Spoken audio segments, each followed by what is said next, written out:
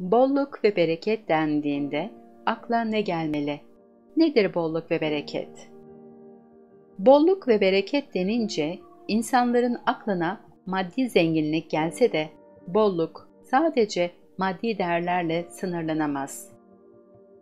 Maddi değerlerden çok daha fazla ihtiyaç duyduğumuz, bizi ayakta tutan manevi değerlerimiz vardır ki asıl ihtiyaç duyulan da bu değerlerdir aslında. Bolluğun bizdeki tezahürü farkındalığımız, idrakimiz, şefkatimiz, merhametimiz, adalet duygumuz, huzurumuz, neşemiz, sağlığımız, sevebilme kapasitemiz ve kendimizi iyi hissetme şeklinde olur.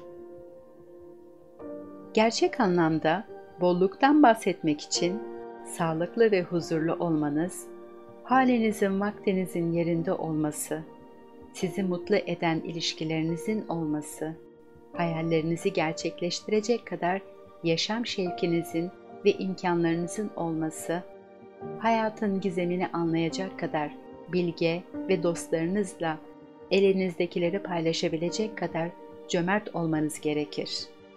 Bereket ise bir şeyin çokluğundan ziyade o şeyin nitelikli ve faydalı olması anlamına gelir.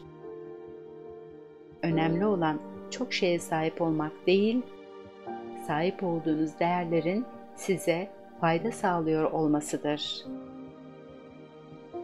Ben Emine Uğur, Aydanur Aktaş Hira'nın Bolluk ve Bereket Formülü kitabından alıntılar okudum sizlere. Okumuşlar Yayıncılık